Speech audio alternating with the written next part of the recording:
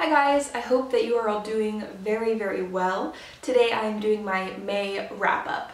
So I actually started reading again in May, so you'll see that a bunch of these books I decided to uh, DNF if I wasn't loving them because I really didn't want to put myself in a slump. So I think I read seven books and two had two DNFs. So we're going to start out on a bit of a low note, and this is Fierce Fairy Tales by Nikita Gill. This was one of my five-star predictions of the year um, because I so loved Your Heart is the Sea, uh, also by Nikita Gill.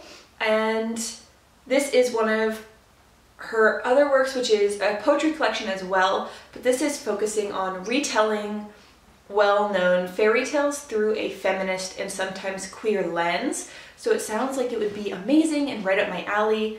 However, these were really forgettable for me. I read halfway through and then we moved and then I was trying to find the page to take it up again and I could not remember any of the things that I'd read. So I went back to the beginning and I started reading it again and I was like, no, I just don't. They're really not memorable for me and so if you were going to choose one or the other to try to get into Nikita Gill, I would highly recommend Your Heart is the Sea, and I would give this one a pass. This is certainly not one of my better five-star prediction picks. So next up is one that I picked up from the library before it closed, and this is Defy the Stars by Claudia Gray. I think that I was sleeping on this, or it was a really popular YA novel um, many, many years ago, I think. Um, but I freaking loved this. So this follows Noemi, who is a fighter pilot, and when she is in a battle, she sees that one of her friends' like pilot ships is injured, and she rescues her friend and takes her into like this floating old ship that has been abandoned for a long time, and that's where she meets Abel, who is like one of the, if not the highest um, AI mech robot in like all of the galaxies ever. Um, and she basically takes control of him because he is like vowed to help humans. So even if he doesn't want to help her, he has to help her. So then they start off on this journey together and I have a thing for human AI like romance. Uh, I just find it so fascinating. I really recommend it for anyone that likes quick sci-fi, that where it's not too intense, um, but it is still good world building and the plot is really solid. So I will definitely be reading the second one in this. I gave this four and a half stars. Um, it's like a guilty pleasure uh, YA AI human romance. So if that sounds at all up your alley, I highly recommend. I can't wait until the library's open again because I know that the library has the next two in this trilogy. So fingers crossed that um, I can be reunited with the sequels very, very soon. Okay, so the next book is Bunny by Mona Awad. This one was a dark book that I had been anticipating. It might, I think it is a five-star prediction for me as well. And this one fell a bit flatter. I ended up giving this three and a half stars uh, because it didn't quite reach its full potential because this is about a main character who is in a, in a English program and there happen to be like this clique of girls that call themselves bunnies and they may or may not be doing like culty things together. She gets sucked into it and it's kind of like, is she an unreliable narrator or is this really happening? Is the cult stuff real? Is it not? Like you don't really know what's happening. So I think along the way it was kind of between a three and a half and a four.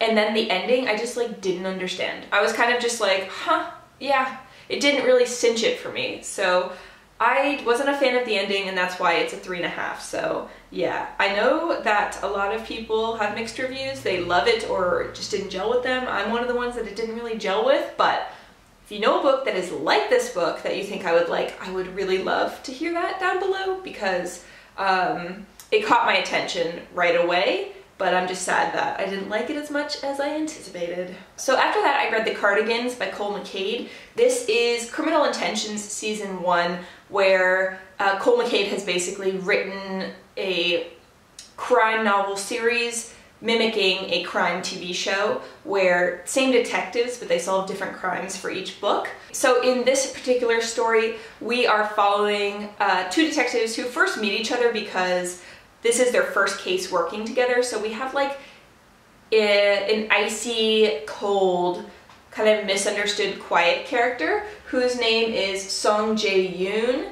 Uh, and then we also have kind of the gruff, um, like bulky weightlifter kind of detective who's like really gruff and like just curmudgeonly. And his name is Malcolm Khalaji.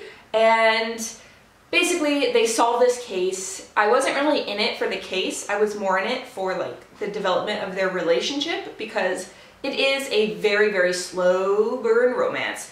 And I gave this three stars. I wanted to continue because I wanted to see what was happening with them. And then I realized that there are 18 books. I'm not gonna wait like 18 to 20 books for a slow burn romance. That's like the slowest of burns. So personally, I'm not going to continue on, even though I thought that the first novel was quite good. Uh, Cole McCade is just a really excellent writer, but that is just too slow of a burn for me. So then after that, I was like, I need some female-female love in my life.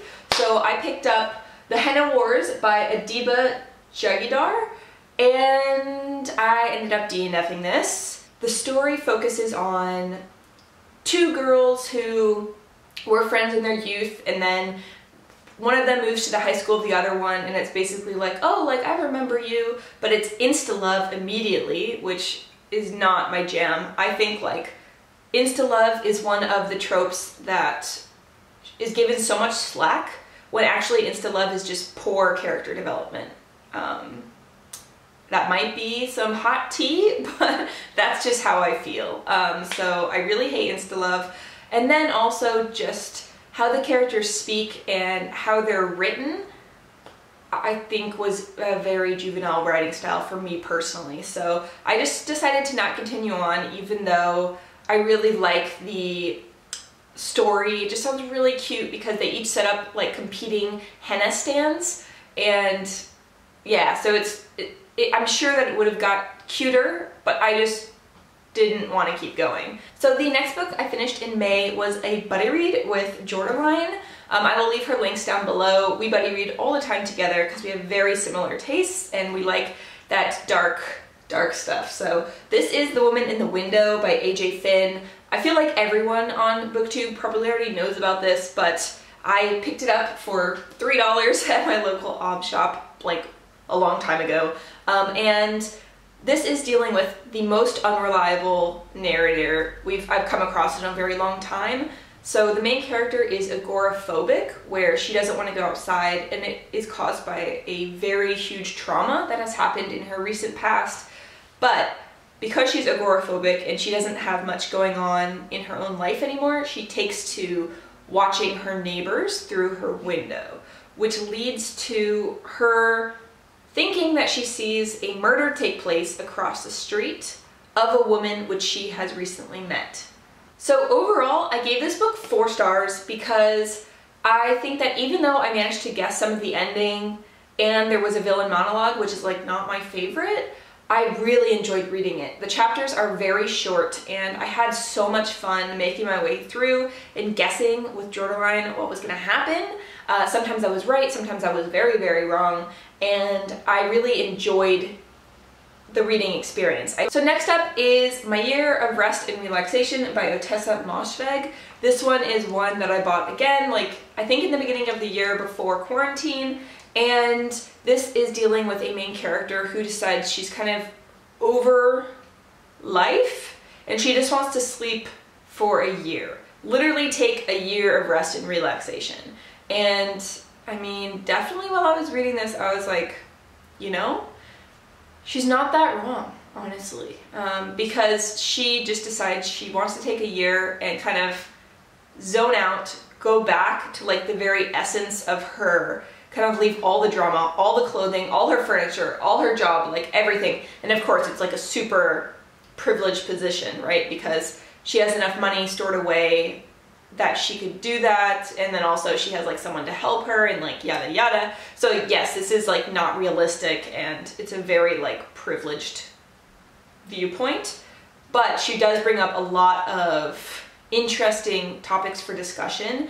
This book was going to be a four for me, and then the ending happened, and it's so unfortunate because I feel like if the last maybe 30 pages had just like been ripped out and hadn't happened, then I would have probably given it a four. But I was so mad about the end that I think it's a three and a half. Um, so it just didn't need to happen. Like the book is set in 2001, and for anyone that knows what happened at 2001, um, there was no need for that. We don't need that, okay? Like there's no need, especially because this book is published in 2017, so it was a choice, deliberate choice. Um, yeah, so I question why the author did that. Why? If you've read this and you have any thoughts to why the why the author placed it at that specific time, uh, do let me know. And the last book, which I finished in May, is The Memory Wood, another buddy read with Jordaline.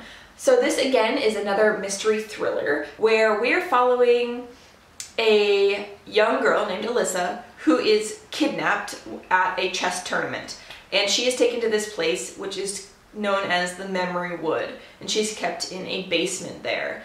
And a boy keeps visiting her, whose name is Elijah, so she is trying to play this game where she can get out of the situation, but not upset him to the point where he becomes like kind of useless to her.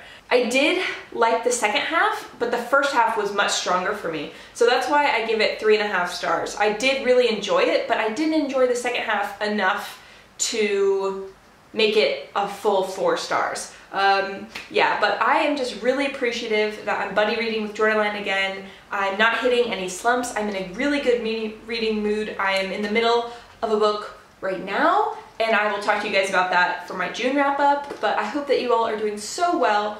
Please talk to me in the comments if you have anything else to share or say. Thanks so much for watching, and I will see you guys in another video soon.